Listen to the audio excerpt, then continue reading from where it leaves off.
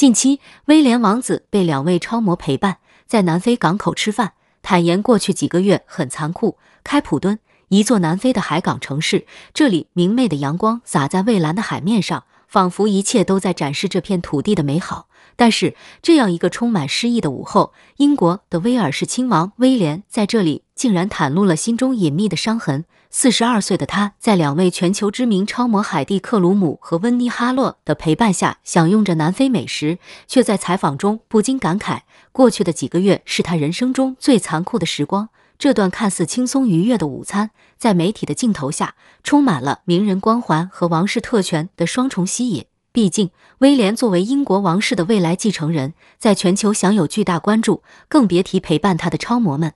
一位是来自德国的超模巨星海蒂·克鲁姆，另一位是独具个人风格的温妮·哈洛。他以打破传统美学的姿态，在时尚界赢得一席之地。如此华丽的组合，在普通人看来堪称梦幻联动。然而，在这一切的背后，威廉心中的苦涩也不禁显露。借用这样一个场合，他罕见的坦言自己的不易，似乎表露出一位未来国王难以承受的私人压力。这次威廉的南非之行，主要是为他的环保项目“地球奋斗奖”助力。与两位超模的共餐安排，显然并非只是为了品尝美食。要知道，王室的一举一动都具有高度政治意义和宣传价值。这一奖项自创建以来，便希望通过环保议题聚焦全球关注，而时尚界的明星嘉宾。自然成了吸引流量的关键。海蒂·克鲁姆五十一岁，凭借多年的超模生涯成为时尚界的传奇。温妮·哈洛则以她特立独行的风格打破美学壁垒。在这样一种前卫又充满争议的组合下，威廉显然是希望借助两位超模的国际影响力，为环保事业拉动更多关注。与其说这是一次愉悦的午餐，不如说是一次不得不进行的社交活动。王子也许内心需要一个短暂的喘息，但对于身为未来国王的他，这种场合的背后更多是义务和责任。事实上，威廉并非首次通过与名人合作来推动公益事业，就像他的弟弟哈里王子以“勇者不败”运动会吸引关注一样，威廉也知道明星效应对于公众影响的重要性。王室在这一点上早已驾轻就熟，这并不是什么突发奇想，而是其长期以来的宣传策略。对威廉而言，和名人共餐、出席公众活动，甚至在南非的街头面对抗议者的批评，都是他日常生活的一部分。这份看似高贵的生活，实际上充满了无形的枷锁和无尽的压力。回看威廉的成长经历，他和弟弟哈里从小就生活在公众的聚光灯下，无论他们的言行举止还是生活细节，都被媒体无限放大。如今，作为王位的第一顺位继承人。威廉更是必须扮演好未来国王的角色，他的人生轨迹已经被清晰的规划好，不允许任何偏差。这种生活的代价，也许是我们难以想象的。尽管身为王室成员的生活一向充满挑战，但威廉今年的残酷却远非外界想象的那样简单。今年，威廉和他的家人遭遇了重大变故。年初，父亲查尔斯三世和妻子凯特王妃相继被确诊癌症。这个消息震撼了整个王室，也给威廉带来了巨大的打击。对他来说，面对至亲的病痛，甚至可能是生命的威胁，这种恐惧和无助感，是他无法用权力和地位所消解的。我经历了人生中最艰难的一年，威廉坦言，他从未想象过这种危机会来得如此突然。在这样的情境下，他不得不一边应对王室的繁重事务，一边陪伴家人，承担起顶梁柱的角色。作为一名丈夫，一位父亲。甚至是作为查尔斯的长子，他在家庭危机中尽全力支持家人，这种无力感和压力，恐怕只有威廉自己才能真正体会。在威廉的言辞中，凯特无疑是他最重要的精神支柱。作为一位母亲和王室的象征，凯特王妃在公众面前始终保持着优雅和坚强。然而，伴随他的病痛，以及面对漫长而艰辛的治疗过程，威廉必须在家庭和事业之间寻求平衡。他说自己为凯特感到骄傲，正是因为他在最艰难的时刻表现出的坚韧和勇气，这无疑成为他坚持下去的动力之一。但在这种荣光背后，威廉其实也面临着巨大的情感困扰。一方面，他必须保持公众形象。作为王室第一家庭的一员，承担起沉重的责任；另一方面，他内心又充满了对妻子健康的担忧。在公众面前，威廉的微笑是责任的体现，但在私下里，这种心境显然极其复杂。正如他坦言的那样，残酷并不仅仅是身体上的劳累，更是一种心灵上的煎熬。威廉的南非之行原本是宣传环保奖项的公关活动，但这并不意味着当地人都欢迎他的到来。在餐桌旁，有几位抗议者高举着写有“威廉，你在我们国家没有特权”的纸牌，抗议声在一片喧闹中隐隐传来。这种不和谐的场景也为王子的南非之行平添了一丝讽刺色彩。其实，这种抗议并非针对威廉个人。而是象征着一部分民众对王室特权不满的声音，这让人们不禁反思：王室在当今社会中的地位和角色究竟是什么？对于威廉而言，这种特权是一种生来就无法摆脱的责任；但在一些人眼中，它可能只是遥不可及的荣耀和权力，甚至是一种不应存在的遗留。此刻的威廉。或许也体会到了这种无奈和疏离感。王子的生活或许看起来光鲜亮丽，尤其是身边簇拥着全球知名的超模，坐在南非的阳光海岸享用美食。然而，这些表象无法掩盖他内心的痛楚和困惑。作为未来的国王，威廉必须始终站在聚光灯下，履行自己的职责；而作为一个普通人，他也有难以启齿的痛苦和情感。在公众面前，他是王子。是领袖，在家庭中，他是丈夫，是父亲，是儿子。在人生的转折关头，威廉的残酷一年揭示了这个高贵身份之下的人性一面：脆弱、挣扎而又深情的情感。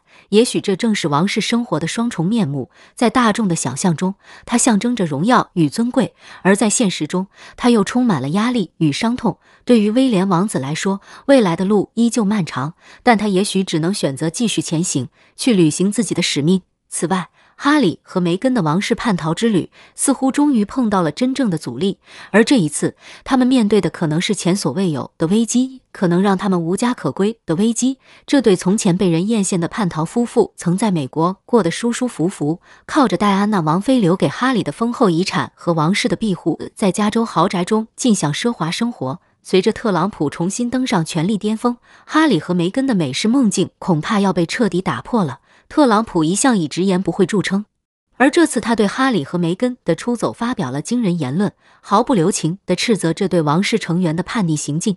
他明确表示：“我不会保护哈里和梅根，他们背叛了女王，是不可原谅的，无家可归。”这对夫妇是否真的已沦为特朗普眼中的弃儿？在他们口口声声强调为了自由而离开王室后，这个对自由的追求似乎成了嘲讽的笑柄。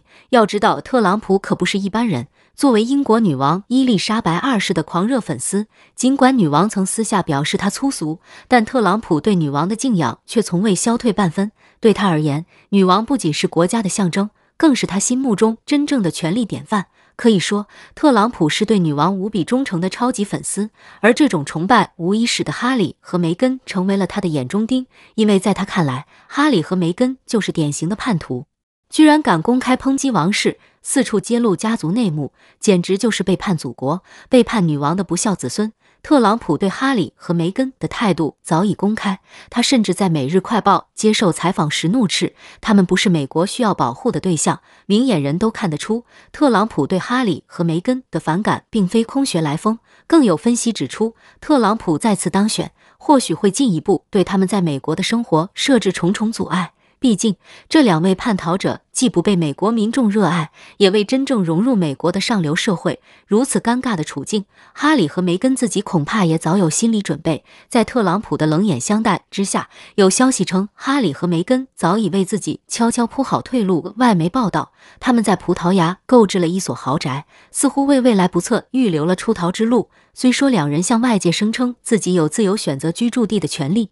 但这样的说辞在现实面前显得格外苍白。明眼人都知道，这对夫妇极力保持的低调背后，隐藏着不小的无奈与恐惧。毕竟，美国的居所再豪华舒适，也无法掩盖他们在异国他乡的孤独与焦虑。葡萄牙的豪宅虽然华丽，却远远比不上他们在加州的生活。要离开美国，对于哈里和梅根而言，无异于失去了他们精心营造的完美逃亡之梦。显然，葡萄牙的豪宅对他们来说不过是最后的避难所。一旦在美国的局势进一步恶化，他们将不得不狼狈逃回欧洲。而对于习惯了美国奢华生活的他们而言，这一转变无疑是巨大的打击。再者，哈里的签证问题也始终悬而未决。自从他放弃王室职务，变成了一个没有王室庇护的二世祖。要知道，在美国要留住这样一个身份特殊的英国人，并非易事。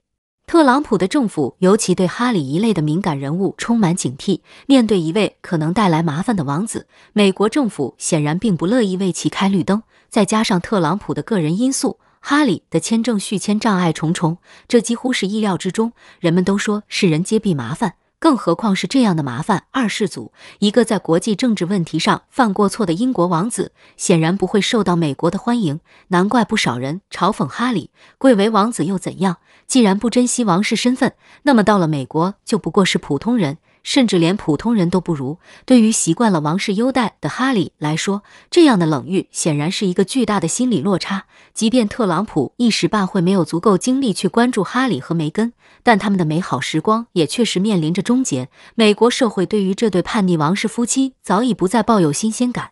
他们的王室背景曾为他们带来短暂的关注，但如今人们早已厌倦了哈里和梅根那套老生常谈的出走故事。再加上特朗普的公开表态。势必会引发一波效仿之风。要知道。美国社会中不乏马屁精与效仿者，当他们得知总统大人对哈里和梅根的不屑，定会毫不犹豫地为讨好总统而采取行动。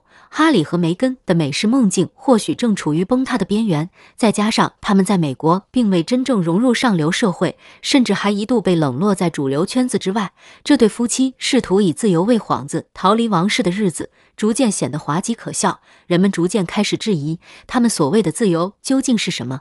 脱离了王室的哈里和梅根，似乎失去了最大的卖点，成了自说自话、自娱自乐的孤岛。可以说，哈里和梅根的美国梦似乎已注定要走向尽头。如今的他们俨然成了无根的浮萍。面对特朗普的敌视，他们在加州的豪宅恐怕不再是安逸的避风港，而更像是一座空壳。有人甚至大胆预测，哈里和梅根将不得不退居葡萄牙，彻底放弃在美国的奢侈生活。回到葡萄牙，意味着他们再也无法以王室叛逃者的身份获得美国的关注。所谓的王室特权也将成为过去。回顾哈里和梅根的种种行为，他们的自由追求看似高尚，但最终换来的却是无尽的质疑与冷眼。他们试图与王室划清界限，却忽视了王室赋予他们的特权与身份。当这种特权失去后，哈里和梅根在美国的处境已然变得十分微妙。的从前的好日子，恐怕真的要到头了。这对王室弃儿将面临无家可归的困境，最终的出路或许只有那个位于葡萄牙的退路豪宅了。